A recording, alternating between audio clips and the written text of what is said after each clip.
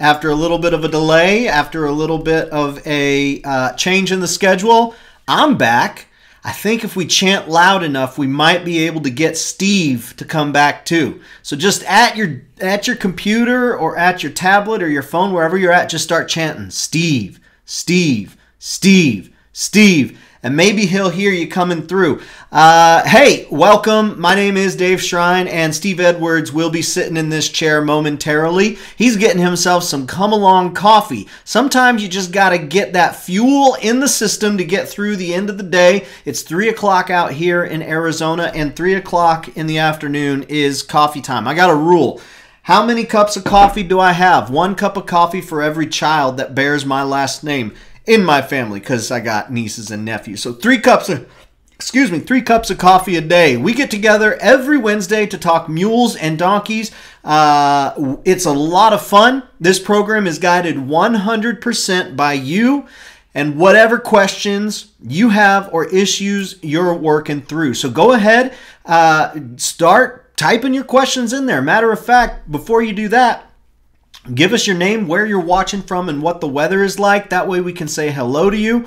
Uh, that's the first thing that we ask. Steve, Steve, Steve. Steve, Steve, Steve, Steve, Steve, Steve, Steve, Steve, Steve, Steve, Steve, Steve, Steve, Steve, Steve, Steve. Hey, yeehaw! Yeah. There we go. Get, this coffee program going until we get coffee. Get the coffee in the system.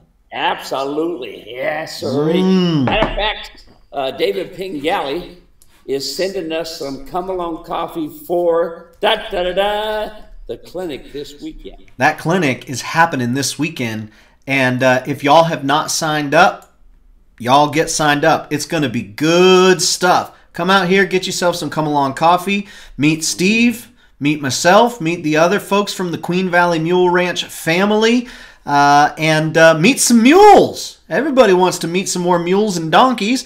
So, uh, hey, good to have you, Steve. How have things been since last week? Of course, we uh, we had to miss our uh, we had to miss our Wednesday last week, and then we had some things conflicting on Thursday, so we did that pre-recording, and I think folks like that all right. But how have things been since then? Well, I've been busy around here with my honeydews. You know, uh, my wife says getting ready to have the clinic, so I'm thinking I got to get this done, this done, this done, this done. That's all well and good, except for she wants that done, that done, that done, and that done, along with this done. So my dones, I'm almost done. Mentally and physically. Woo. That's good. Well, hey, knock it off the list so that you can focus 100% on this weekend. It all starts on Friday, carries into Saturday, and then wraps up on Sunday. It's going to be a lot of fun. If you're watching this in the future, hello from the past. We hope you'll be able to join us for a Queen Valley Mule Ranch clinic at some point in time again. Uh, but for the time being, We'd love to know you're watching, where you're wa- where you're watching from, and what the weather's like. Second thing, start asking any and every, any and every mule question you got. And uh, you ask that you say that to some folks up at the mall, they might look at you like, "Really? Any mule question I got? Do they like to eat? Yeah, they like. Okay, okay. But you ask that to this group, and the questions just come raining down, raining down like the monsoons of Arizona. So any question you got is good. And then the third thing we ask is that you share the broadcast. Uh, you can do that on YouTube by liking and subscribing and just go ahead and saying hello. The comment lets YouTube know that, hey, folks are watching this and they're not just watching with their ears turned off. And then on Facebook, you can click the like button and then click either share or tag a friend or family member. Let's go ahead, say hello to a few folks who are hanging out with us already. And then I've got some questions that came in from last week because our program was uh, pre-recorded had some questions that came in from last week that we can go ahead and talk about. We got christine watching. Christine i got your question here from last week. Columbia tennessee 58 and raining. Polly is watching from barnesville minnesota where it's plus 38 windy with rain snow mixed together. You just oh. don't know what type of miserable it's going to be. We've got misty watching from montana cold and windy. My arab mule and our arab horse have a love-hate relationship. He loves her she hates him what can we do? Billy says, Happy Wednesday, gentlemen. Billy watching from Toronto, Canada. Hey, you know what that means when we got folks watching from across National lines, that means we've gone international. And Billy, you get the first Glockenspiel of the day. Welcome. I've got your questions too here. Matter of fact, let's go ahead and get started with our first question. This one came from Faye. She asked it on Facebook last week. How often do you recommend the teeth be floated? Every spring, once a year. So, uh, you know, the spring, they're starting to get rid of their winter hair. Um, they've gotten pretty fat and this sort of thing. And have been a lot of folks, you know, you feed a lot of uh, uh, hay and this a lot more hay during the winter time because you want that type of uh, feed in their digestive system so it keeps them warm. So anyway, uh, every every uh, spring come uh, springtime, I go to do it. You and you can test them too, by the way. You know, take your upper jaw and lower jaw and move them back and forth. You're going to see me do that on this uh, clinic this weekend. I'm going to talk a lot about teething in this where it's very important.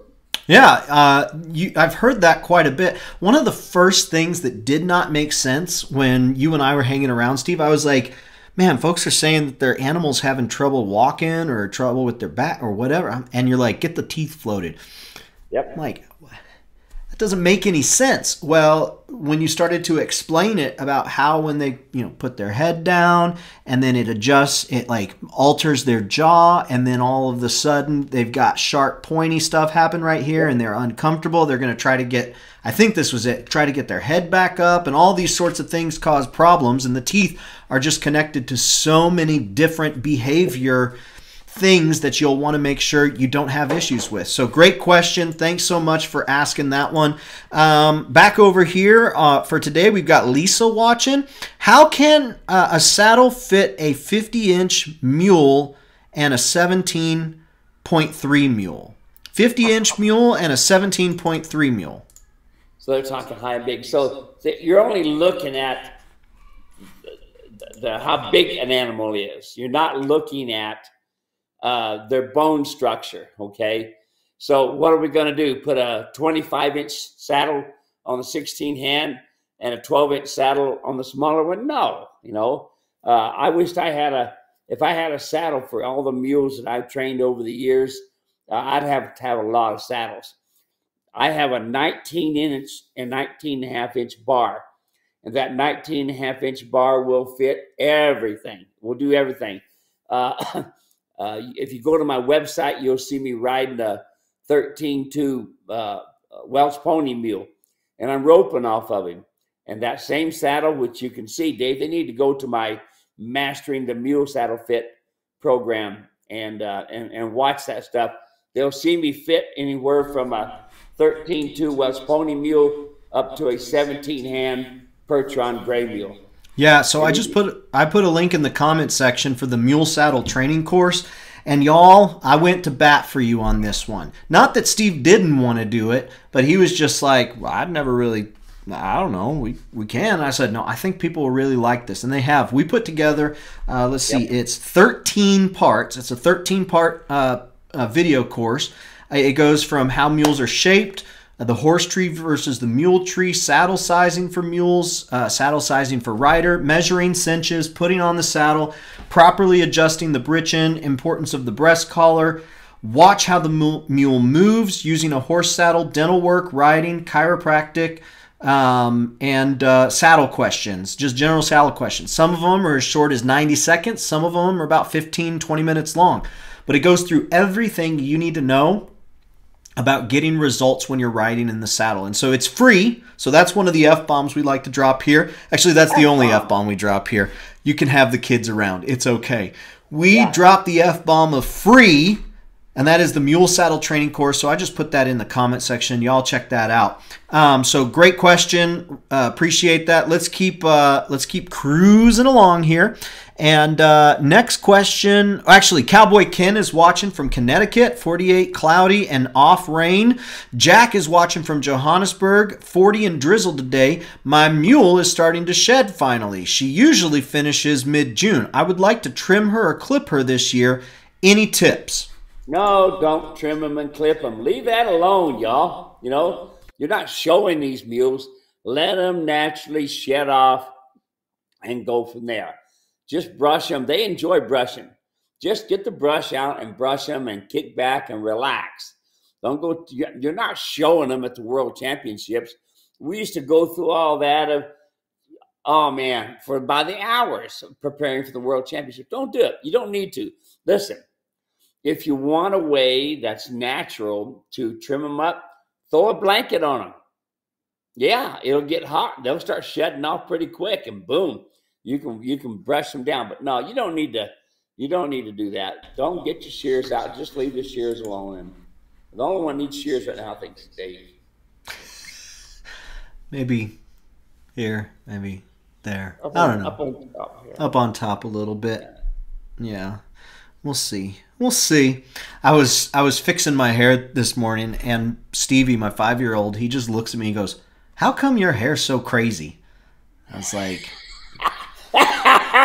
"Only from Stevie, you know." Yeah. Yeah. From the mouths of babes. Oh uh, yeah. Sherry got a question. She sent this in last week on Facebook. She says, I'm going to say, the, actually, it's a comment. The come along rope saved my relationship with my mule. It made that big of a difference. It changed her attitude towards me. Now she participates with me instead of against me. She will even follow me over obstacles at Liberty. Liberty. Now when I go to her corral, she meets me at the gate. She used to go to the back of the corral, pin and poop. I feel like that's what my kids did uh, very early on. Try get away from me and go in the corner and poop it all out. Uh, so I I get that there, uh, Sherry. Thank you so much for sending that in. We really appreciate it. Uh, this one came in from Christine. So Christine, here you go. Question: Last summer I overfed my mule and she got small fat pads above her rib cage. I was careful all winter and now all spring. She looks lighter, but will fat pads reduce or disappear? It's going to take a lot of riding now, Christine. Uh, a lot of riding. And folks, look, it's not so much the overfeeding, it's the type of feed. Get that in your mind. They can have, uh, you know, a, a, lot of hay, but uh, and and that roughage is really important for to maintain the heat in their body to get through the winter. But it, it is what's in the feed. Listen, folks, it's it's extremely important that you know what is in your feed. Okay, lots of ways to get it tested. You can even have the company that you're buying it from tell you what's in the hay because you cannot believe the difference it makes when you're feeding good feed, especially with mules. Those fat pockets can be a mess, you know. And just like us, you know, uh, me anyway, uh, you know, you, you, you, can look down and know you used to have a belt buckle, you know, so you got to, and you gals know where your fat pockets are. So anyway, next Dave. uh, moving right along. Uh, we've got, uh, let's see, Christine also says, I'll be trading my hinny, my hinny mare, training my hinny mare, mare to drive. What bit should I start with? The snaffle bit? Yeah, she's going to start, always start with the, ground communication kit. From there into the mule riders martingale. From there, you're going to be going into the uh, foundation driving bit, full cheek bit. And then as you progress, you go into the Liverpool bit. You know, if you follow those sign, those basic guidelines and make sure they're solid, you'll have a big difference in your mules. The problem with driving is this. When you have long lines, that's a lot of leverage on that bit and we tend to overpull. Now, I've got a video that'd be really good for you, Christina, called uh, uh, Communicating Through the Lines. Lines. Now, this is driving, not reins, where you learn how to just turn your wrist and go. What drivers end up doing a lot of is pulling, pulling. Okay, your hand, your elbows should stay out here, and you should have your elbow slightly bent. You should never, ever overbend your elbows and pull back to you. Should always take up lines. Anyway, there you are, Christina. Try that video out, uh, uh, communicating through the lines. It'll teach you a lot. Christine, I put a comment uh, in the comment section with a link to that video. You can check it out. Teresa is what we got we got to keep in our mind, folks you know, humans are agrarians. In other words, they got to have a tool to fix something. All right. And that's all well and good. It is not the bit. It is not the bit. Get that in your mind, folks. It is your hands. And we're going to focus on a lot of that, Dave, this uh, this weekend. Uh, I'm going to I'm going to really focus on that. It is not the bit. What kind of bit? No, no, no. It can be your hands. I can use one of the worst bits in the world, but when I learn what the mule was doing, when I use my hands, I can get a lot done. There awesome. Uh, let's see. Next comment here. Uh, Teresa's watching from Kennedy Meadows, California. Beautiful weather. Hey, Yolanda's here from the Netherlands. There we go. International. Hey, Thank you, Yolanda. Uh, let's see. Richard Matthews. Hey, Chaplain Steve and Chaplain Dave. Good afternoon. Good afternoon, Captain. Now, Appreciate there's it. an awesome captain. That's right. Yep. Tell them, tell, tell, for the folks who don't know, Steve, tell them what you mean. Well, uh, I'm a, a, a kind of a kind of unique being retired and doing this, but I'm a firefighter out here in Queen Valley, and but I'm not a full time firefighter. I'm just there to, you know, uh, what what would you call me, Dave? I just a helper, uh, you know. But anyway, volunteer. I, I, volunteer. That sounds a little bit more better than helper. Volunteer. Yeah. Anyway, I volunteer. So through the same training, yes, we have excellent, excellent trainers like Captain Matthews here. Uh, he's an excellent trainer. His wife is a nurse, and they're both EMTs.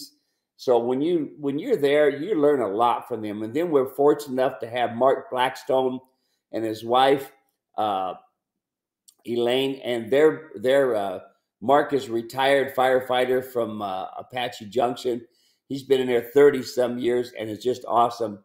Uh, Elaine teaches all the paramedic stuff and EMT stuff, college level, and you, you can't go through get EMTs or, or, or paramedic classes without going through Elaine's class. So anyway, out there, we we are our volunteers. There's only two full time firefighters, and there was a, a bunch of us firefighting. And uh, I still go out on car accidents. I go out on EMS class, uh, EMS uh, programs. Uh, you know where we got people with heart attacks. We set up airplanes. We, I mean, helicopters. Uh, we do a lot of wildland firefighting, which we're doing now. But this wouldn't be possible if it wasn't for guys like Captain Matthews to be able to say, hey, that's a good way to do it, but this will be better. And that's the kind of fire department we have. Awesome. Thanks for sharing that. Good to have you here, Captain. Uh, Teresa says, when I used the martingale, it's very loose. Can I use a breast collar with it? Now, first thing, Teresa, I want to make sure that you know this is for the mule. It's not for a person. If you try to put it on a person, it's going to be a little loose. Hey. Now that I've made my dad joke, Steve, what would you say there for uh, Teresa? Okay, number one, folks, this is a tool. All right and it's not going to be just put on there just right. It has to work correctly. Now, when I go out on uh, side of a mountain punching cows, I'm going through a lot of brush and stuff. I mean, it's thick. That mule has to flat duck his head sometimes to go through a lot of this brush. It can be pretty tough and pretty thick. So uh, I sometimes will let just let it hang, let it go, or sometimes I will take the adjustment strap go through the front D ring of my breast collar and down into my cinch. But don't worry about it. It's been fine. I have gone through, if you see some of my country, it's thick and nasty, lots of thorns. It should be just fine. Awesome. Great question. Thank you very much, uh, Teresa. Uh, Laurel is watching from Minnesota, rainy, snow, and cooler. Have a question. The feed you recommend to feed is not available in Minnesota. What do you recommend to feed? Well, that's that's tough. Folks, take the ingredients that's in that Lake and Light, go to your store and and find out, see if you can find something similar to it. Now, here's the problem. When you see the Lake and Light, it's about as big around as my finger and can be as long and shorter. All right and, and it's pretty heavy. Now, here's the thing when the pellet gets wet, it expands two to three times its size, helps the mule, helps the donkey feel like he's full. Now, here's the key thing with this we set up the ingredients for the mules because of what we learned watching them on a daily basis, training, going up mountains, pulling wagons, packing. We've seen their their dietary needs. That's why we come up with the type of feed that we have that I use, Lake and Light. Now, if you, you if you can't find that feed or get it, which I know you can't up there in Minnesota, take it down to your local feed store and say, "Hey, I want something like this." Now, here's the other thing: it's okay to feed hay. The only problem with the hay is you you'll hear me talk about this. You don't know what kind of body parts are in that hay. Yeah, I said body parts. Okay, snake parts, rat poop, bird poop, bird parts. In some countries, uh, fawns, deer. Yeah, yeah, that's right. I'm sorry, folks, but it does happen. You know, the problem is you don't know what's in there. And when you do an analysis, when you take it in and get an analysis on the feed and get an analysis on the uh, the hair samples, then you can know for sure what is in that feed. Because here's the biggest problem, folks, we have to deal with with feed, and we have to deal with uh, with our animals, with our equine, is salmonella. That's the thing about the pellets is that all that's cooked out of it when they get their feed is a pure feed. I have not had any problems with colic for 25 years plus because I feed that fed that lake and light. Okay, now next. Can you get Bermuda hay and feed it to them? Yes. Okay, again, folks, take the hay in, get it tested, see what vitamins and minerals are in that hay, and then feed it. Now, here's the downside of this. All right. When we did this at Pierce College in LA, we did this hay, this feeding program. 10 animals on one side got fed nothing but pellets. 10 animals on the right hand side got fed nothing but hay.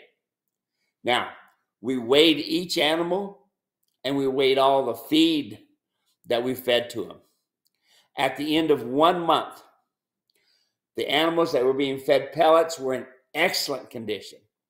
Heart rates, breathing rates, muscle mass, things like this. But here's the key thing the pile of manure that was in the pellets was a quarter. Hear that? Probably a quarter easy of the pile of manure that was in the hay. That's right. Okay they you you're wasting a lot of benefit from that hay because it, it's not set up like pellets is to where everything they need is in that pellet and when it gets wet it expands they feel like they're fed okay you do not have to keep feeding in front of them all the time you're not feeding them to butcher folks you're not you're feeding them according to the program that you're going to be having you're going on a long trail ride, feed them accordingly. Feed them some whole oats as well. The whole oats will give them the energy. The whole oats will help their top line. The whole oats will keep you keep let them that your that's the mule's body naturally feed off of the fat fat. And that's important when you got a lot of fat pockets. But listen, it is so easy, very easy to grass founder a mule or a donkey. You already heard one of my clients, I think it was Christina, saying that, you know, she kind of overly fed, da, da, da, da, and now she's got some heavy fat pockets. Yes, yes, and yes. Just like us, the older we get, the easier it is to get out of shape. Oh, yeah. Okay. Now get this in your mind. Therefore, the fat pockets will start showing up. And when it really gets really bad, grass founder. Now you've got a founder mule. Now, hopefully, it would only be in the neck or the ribs, but when it gets down into the feet, no feet, no meal. No feet, no donkey.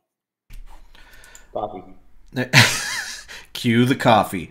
Uh, all right, here we've got. Uh, hey, David Pengelly, big storms in Georgia. Are these the big storms right here, David? Big storm one, big storm two.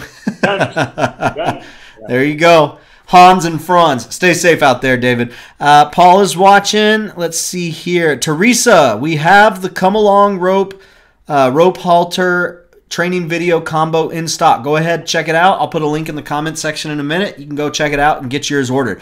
Um, Stacy, watching from Colorado, 48 degrees and very windy. Hey, Steve, that's you. Have you ever had to make an emergency dismount and do you recommend practicing? And I'm assuming she means with a mule or a donkey and not in gymnastics. Yeah, she's talking. to folks, that emergency dismounts are what the people who write English do. My emergency dismount is called a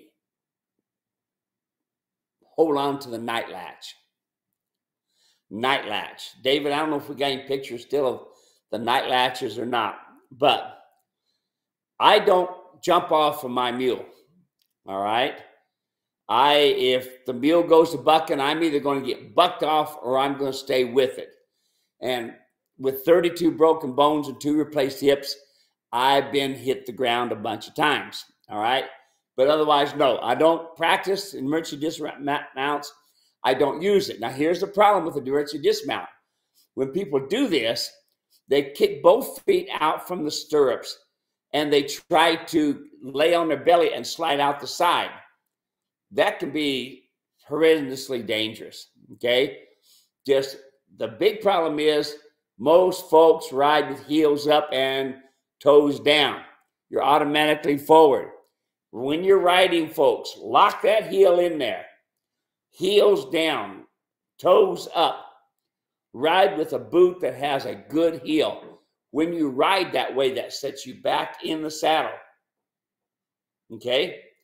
When your mule goes to being a problem, grab the night latch, hold on to it, hold on to the reins, and go. Or my preferred thing is right, left, right, left, right, left with my hands. I would rather the mule go to the hospital than me. So emergency dismounts, that is not in a uh, in my vocabulary. Um, moving right along, we've got Hannah watching from Dunnellon, Ocala, Florida, 84 degrees and windy. David is watching from East Texas, 70 and sunny. Billy is here again. What advice do you have on brushing and similar basic hygiene? Do you have someone with zero experience with mules and donkeys. Thank you. Do you have? Yeah. You... brushing brushing is very very important tool, folks. What I mean by that is that mule needs to feel you. And I, let me give you an idea what I do. Here's my cowboy brush. I've got a leather glove. I wipe them down. I brush them. I touch them all over their feet and their legs, and I look at their feet. As I'm looking, I'm looking for sores. But I take a leather glove and I brush them off, put the saddle on, go to work. Okay. If I had to curry comb every single mule that I rode, I would never get anything done. But let me tell you, it's very relaxing. It's good for the mule. It's good for you. Uh, old Tom Dorrance used to say, on a windy day, it's a good time to be brushing. What he meant by that was this on a windy day, the mules are looking for monsters. In this case, Tom would be talking about horses because they're booger monsters, looking for the monsters. Every time the bushes move, they think there's a monster behind it. So, on a windy day, good day to brush and relax and take your time. All right. Let's see here. Bobby is watching. Actually, Carol is watching on Bobby's account. Hey, Carol, does oh. Bobby know? Does Bobby know? From St. James, Missouri. Uh, let's see, 50 degrees and windy. We got Angie watching from southern Colorado, 53 and very windy. Our mare had a Bay John Mule colt late Sunday night. Heart emoji. We're excited for the future with him. Hey, Angie, send in some pictures. That'd be fun to see. Andrea is watching from Florida, where it's sunny, hot, and humid. I guess that's going to be the forecast in Florida for the foreseeable future. Hannah is watching, says, I have received your video come along. Uh, I cannot follow how to formulate the come along uh, halter by following the tape. Help. So it is a little tricky to get the come along hitch onto the animal. And so there's really two things I've got for you. Number one is come out to Queen Valley Mule Ranch during one of our clinics. We just so happen to have one this weekend. Come out to Queen Valley Mule Ranch for a scheduled clinic and learn how to do it with Steve right there. Now, for those of you, and there's only a couple of you who aren't coming, so for the rest, the other two of you, uh, the best thing that I have to offer is our YouTube channel. And you're going to say, oh i've watched the i've watched the video on youtube well what i want to tell you is that there's several videos and here's what i did it is tricky to put on the come along rope and so i filmed the come along rope being put on three or four different times from three or four different angles so if you go to the youtube channel i'm going to put a link in the comment section in the queen valley mule ranch channel there is a playlist all about installing the come along rope. And I'm looking at it now. I've got four different videos. Hannah, that's the best that I can offer. Uh, Steve's more than willing to talk to you over the phone, but putting on the come along hitch is kind of difficult to do over the phone. I would just say keep at it, uh, don't give up. And once you get it, you've got it. And uh, it's a lot like tying a shoe. Steve, anything else you'd say to uh, Hannah? No, I can tell you, Hannah, when I first started using it, I just couldn't quite figure it out. Uh, I, I had old, my old buddy who taught me, Nick West out of Canada. I talked to him several times, and I even had him right there at my ranch showing me several times, and I'd still lose it. You know, so don't expect to get it right off the bat. You'll get it. You'll be fine. Just watch those great videos that Dave put together.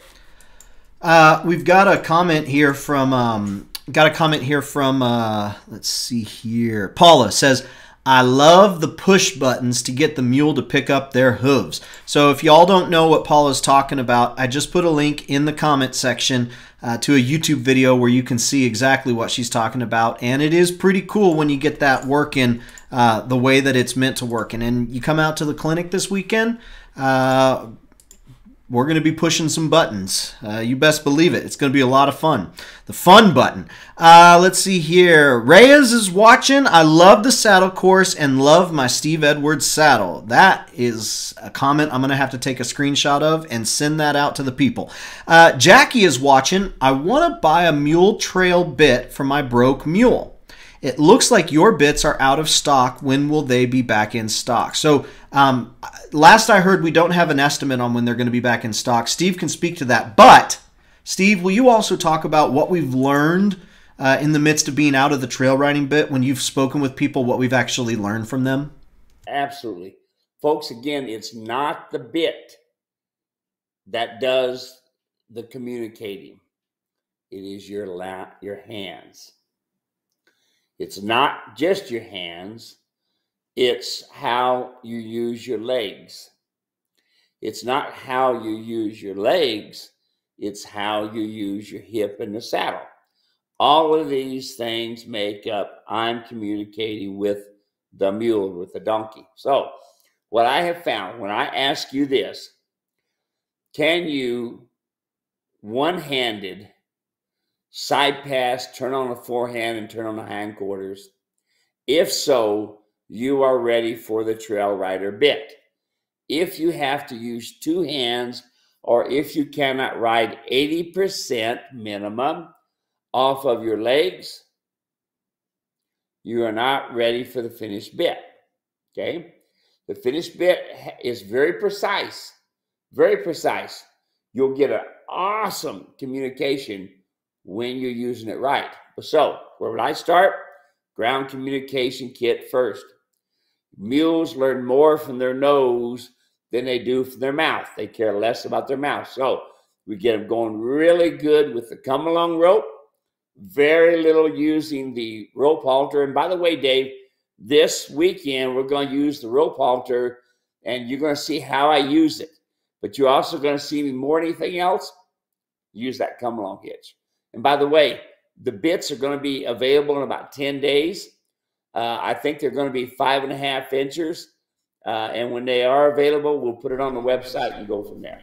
Hey, so folks, uh, what I what I do is anybody who messages me about interest in the bit, um, I put them on a special list. And when Steve tells me that we got them in, I send an email out to that special list, and then one day later, I send an email out to everybody on the list. So if you want to make sure that you have an opportunity, because they went the first day we had them last time. Um, if you want to make sure that you've got an opportunity, send a message to support at muleranch.com and just say, let me know when bits, when the trail riding bit is back in. I'll add you. When Steve lets me know they're in, I'll send you a message. You've got about less than 24 hours to decide to purchase, and then a message goes out to everybody um, and they'll be they'll be gone. So that's just the way that we help the folks who have been waiting for them know about them first, but you got to hop on it right away. Um, let's see here. Paula is watching from Port Angeles, Washington. Lydia is watching from Ontario, Canada, and that means we've gone international again. Jackie is watching from Placitas. Hey, can't wait to see you all on Friday. Jackie, I was wondering if you were going to come. Enjoy the drive over, but we're looking forward to having you here. That's going to be a lot of fun. Uh, Yolanda is looking to propose. Steve David, I have a question proposal. So put it in there, Yolanda. We'll see what we got.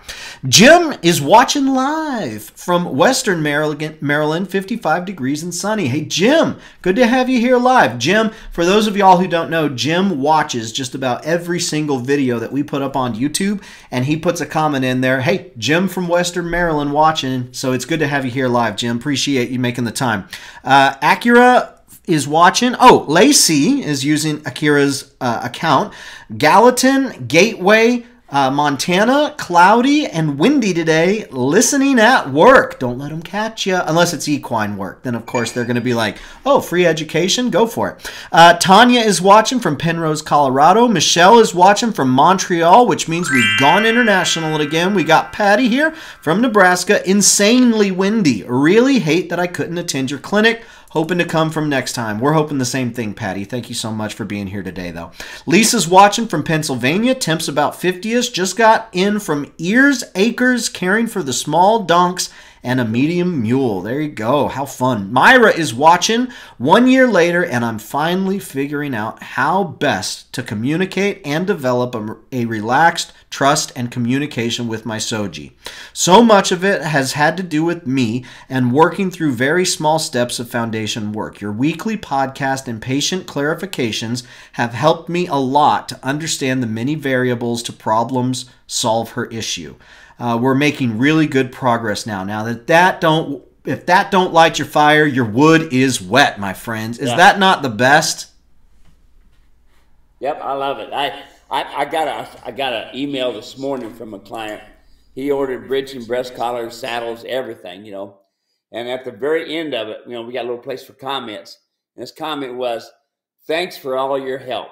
You know, by golly, you know, David, that's what I'm looking for. The thanks for your help.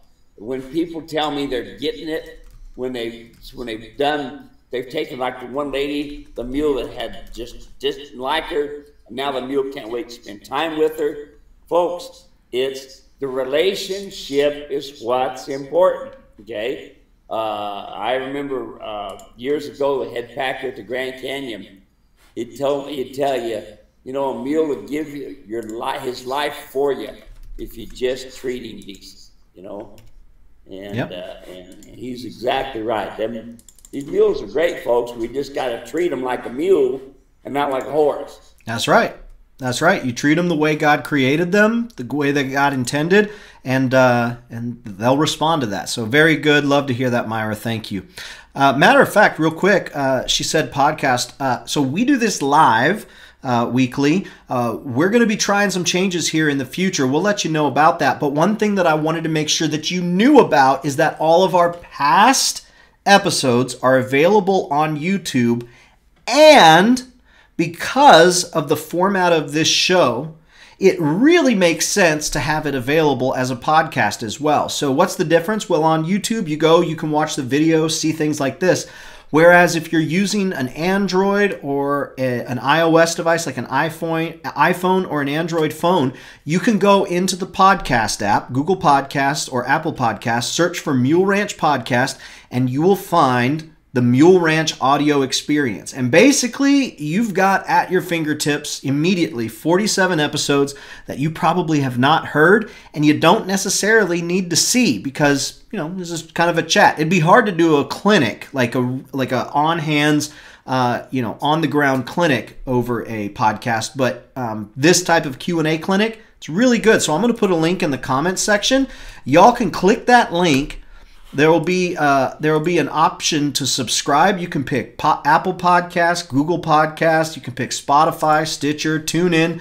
Just about anywhere you listen, you can get the podcast delivered to your phone. And uh, when you're in the car, you don't have to worry about uh, finding the videos. It'll just play one pa- podcast after the next. We've got uh, Ashley uh, from Minnesota watching, cold and rainy. Yolanda says, "David, would you please share the progress of my mule's leg?"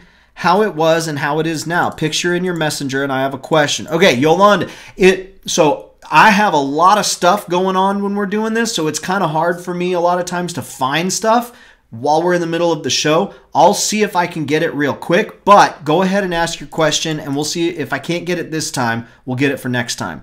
Uh, let's see here. Paula says, "When will you have the Mule Riders Martingale back in?" We've got that in right now, don't we, Steve? Oh yeah, yeah, we got plenty of them. Yeah, let me go check it out right here. I'm going to uh, Bits.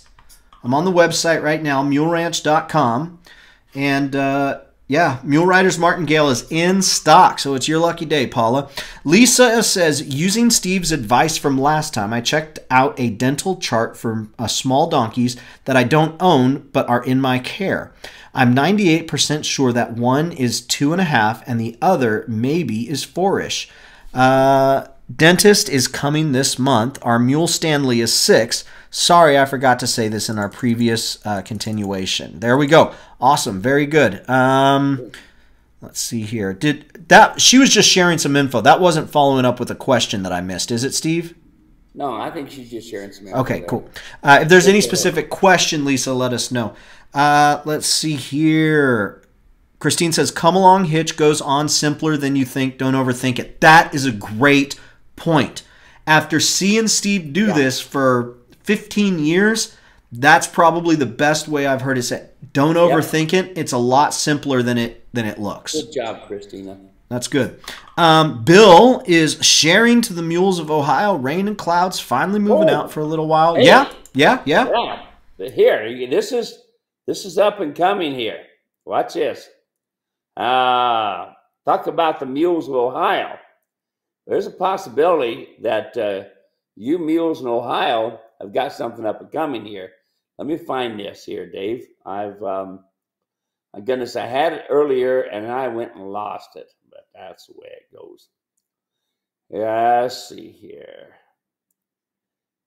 Go ahead and go on, Dave, and I'll find it in here someplace. All right, very good. We'll keep moving right along. Jerry is watching from Montana. Question How long does it take for mules to adapt, quiet down, and stop pacing the fences after being put in a corral? My mules can see the horse buddies in pasture. Will they ever stop, Steve? Uh, yeah, they will eventually, but just be patient. You know, they see their horse buddies, they want to be with them. That's another, it's an equine and will they quit pacing? Yes. Okay. Do you have to be patient? Yes, you do. Uh, you got to remember, before you had them, they probably with a whole lot of other animals, and uh, they got a chance to stay together. Now, here's the other thing, folks. I keep all of my animals in 10 by 20 stalls, everything. Nothing's out roaming around on its own. That way, everybody, everybody is treated the same, but everybody, okay, can see each other right there in the corral next to them. Then we don't have that problems, you know. Yeah, they want to be with their buddies. They're subservient to the horses. They want to spend time with one another, and uh, it's just the it's just the way that they're made. Um, Let's see here. Uh, Lisa says, I have the donkeys now, totally giving me their feet when I use the button. This is almost miraculous, as they couldn't even be handled last July. Owner knows nothing, so we care for them. Thanks. There we go. That's an awesome report, Lisa. Wow. Thank you so much. Yeah. Uh, That's great. Yep. Roger is watching from uh, Milan, New York, cloudy and 50 degrees. Uh, James gave us the big thumbs up. Thanks, Jim. Appreciate it. Debbie is watching from Gra- Battleground, Washington. Sunny and beautiful here today. Love hearing that. Just want to say thank you on my new saddle and equipment. I love it. I was so excited. I got it a bit sooner than expected. Awesome to hear that, Debbie. Thank you. All right, what do we got there, Steve? What are we looking at? We could be using this facility in Ohio. Nice. We could be this fall doing a clinic here.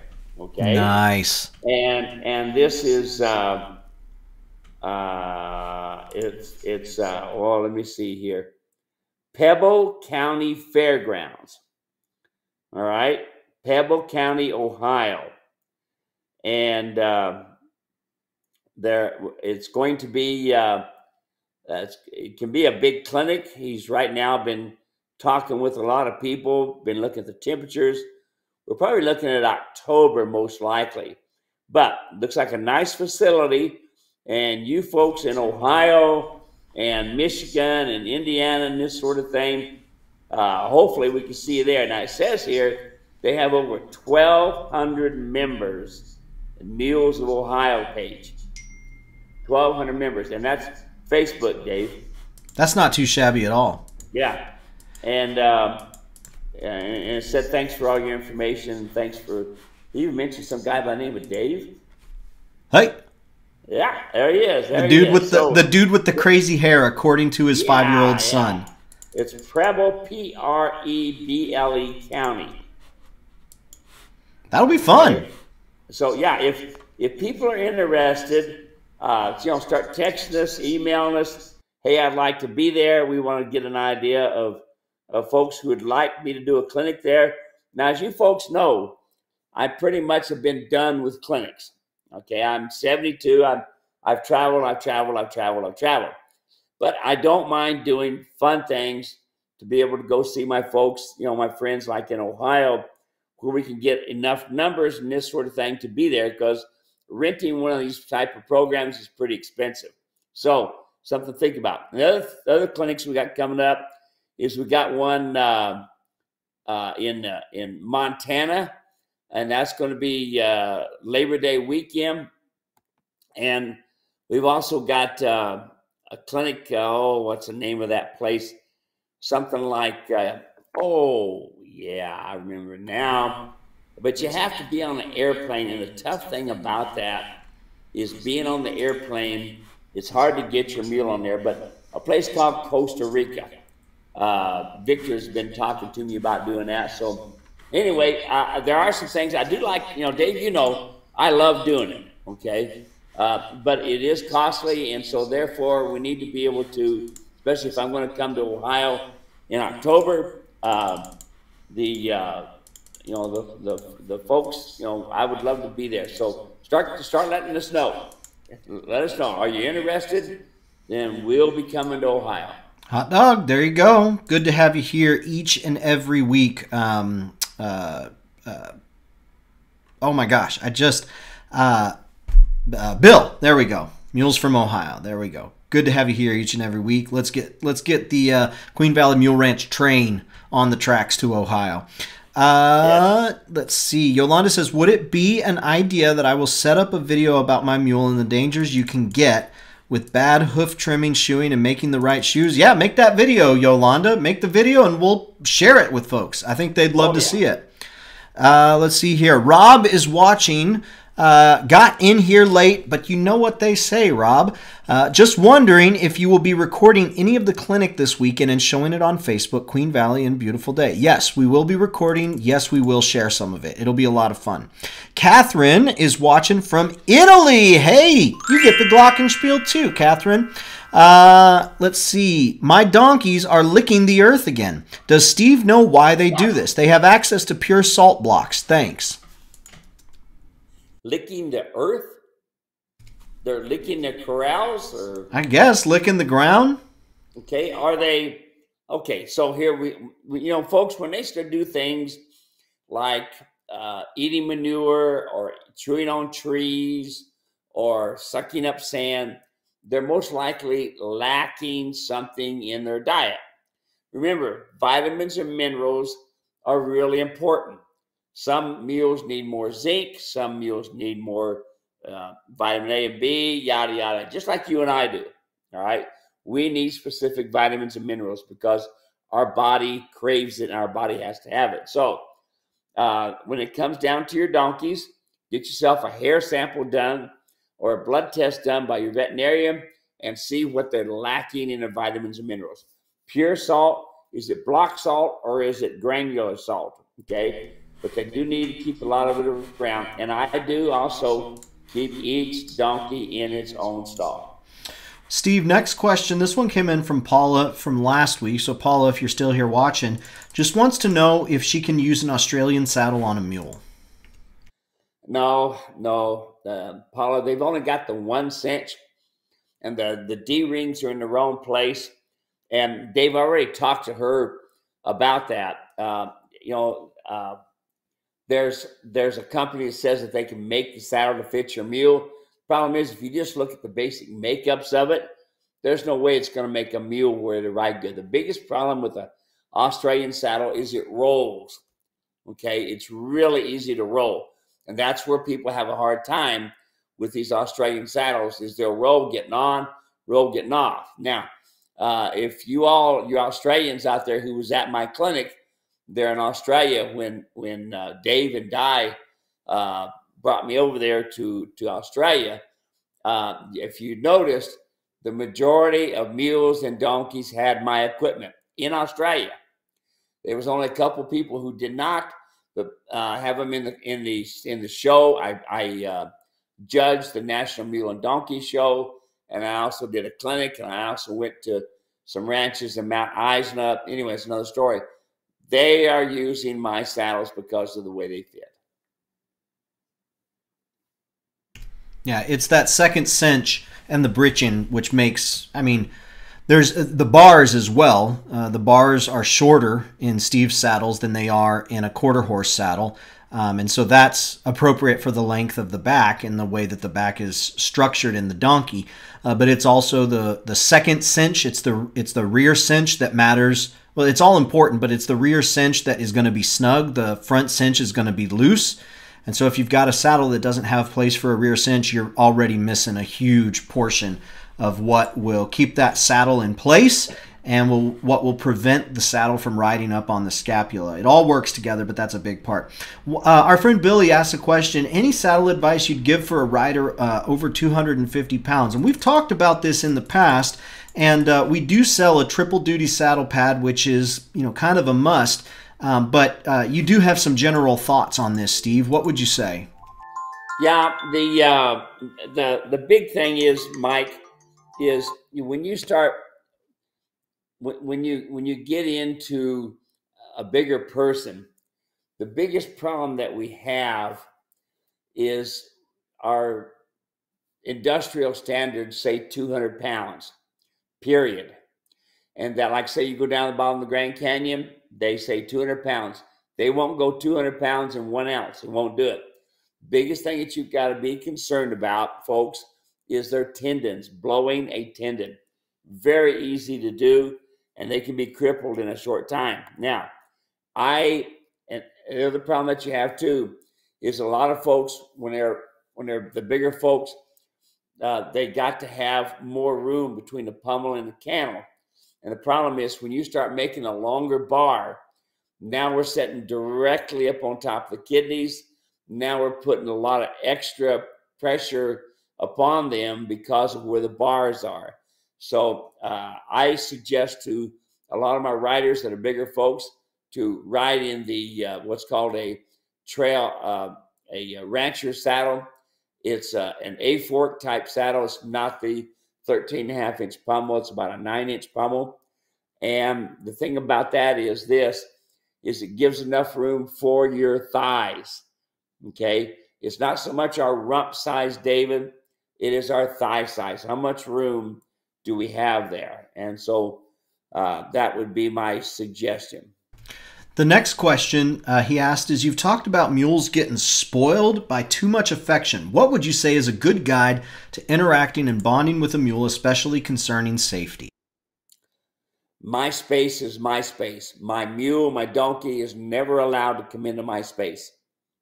You need to teach that in the very beginning. One of the downsides is this, Dave. When people raise babies, babies are so cute and cuddly and they want to come up and yada yada. You end up with Fluffy. You end up having like we had one guy last week where he was the mule was actually rearing up on him, uh, and they get to biting and kicking. It can be tough. So the ground communication kits, uh, they teach you this is my space, this is your space. There's where I would start. That's great. Uh, let's see here. Uh, Catherine has a question. Oh no, that we already answered that. Sherry's here from California. Hey, Trace is watching from Queensland, Australia. Been watching the MMM 2022. Uh, let's see. Roger is enjoying his coffee. That's all we got from Roger. That's well said, Roger. Uh, let's see. Yeah, yeah. Uh, let's see here. Teresa says, Thank you for all your help. I love your products and instruction. Uh, Bill Rose says, Yes, sir. Steve Edwards, we are working on it and should have some information tomorrow on attendance for the clinic. Sherman Johnson, Johnson's Taxidermy is watching. We've got Joyce says, Had a beautiful pasture ride this afternoon. Um, on Pearl, the Mule, springtime in uh, Alberta, Canada, international again. Lisa says, Thanks to Steve and you, I don't feel like a failure as a first time long ear owner. It is so different from horses, which is the most important thing I've learned. I cannot thank you both enough. That's really cool to hear. We appreciate that. Uh, let's see here. Christine says, It's about six hours to me from for me to Preble County, Ohio. Is it okay for a mule from Tennessee? I think they'd make an exception uh, for Especially the for Christina. Yeah, yeah. No problem. Yeah, that's right. They'll make an exception for the mule. Now you, yeah. Chris, Christine, we, you may have to have a couple. no, come on out. Uh, Jackie says, "Just got my saddle. So excited. Does it take a while for it to form to my mule? What do they need to do, Steve?" Okay, as far as forming to your mule is not a problem. We want to form it to you. Okay. Now, I believe Jackie got a cowboy saddle. It seems like, but here's the deal, folks. When you have leather Leather must be wet to shape it to you. Extremely important. No such thing as somebody can custom fit a saddle to make you comfortable. Nope, can't be done. What you can do is like with my saddles, I light oil them and that's all. After that, when you get that saddle, you take a spray bottle with soapy water in it. You spray the back half of the jockey. You spray the back half of the of the fenders and you wet it and then you ride and you wet it and you ride. And here's the most important part, folks, of this saddle.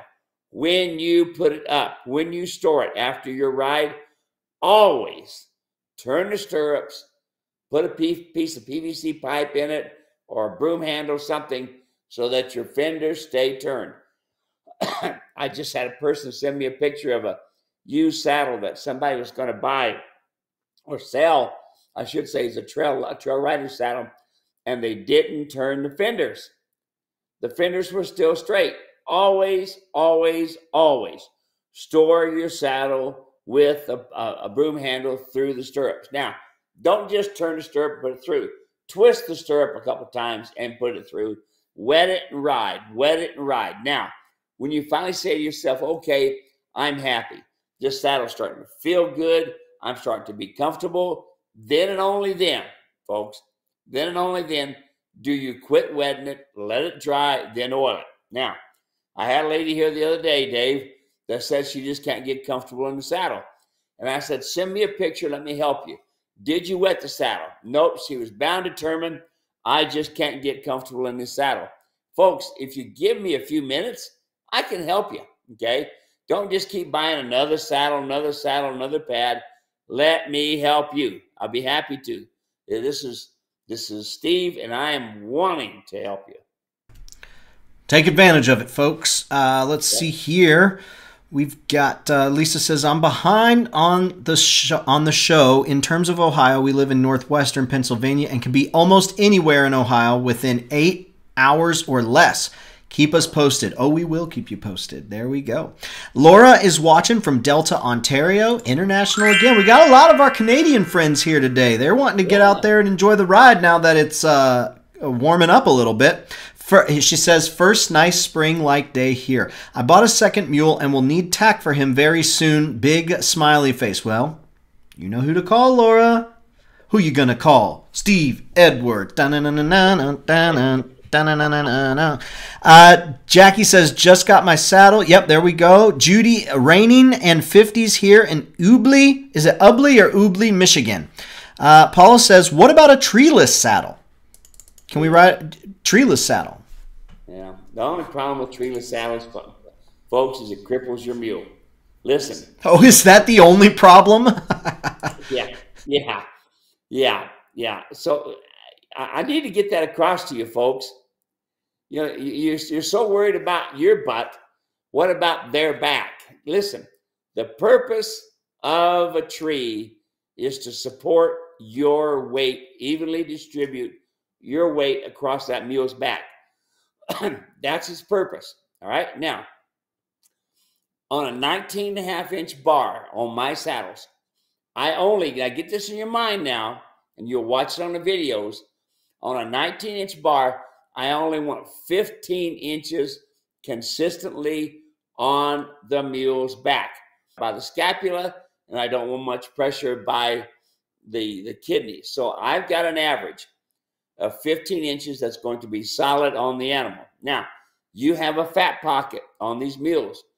That fat pocket is where you're going to have your driest, especially if you over tighten your front cinch. I can tell you you're over tight in the front cinch because that spot is dry, everything else is wet. I can also tell you that if you have a downhill hip, where are you going to have dry spots? Right behind the shoulder. Now,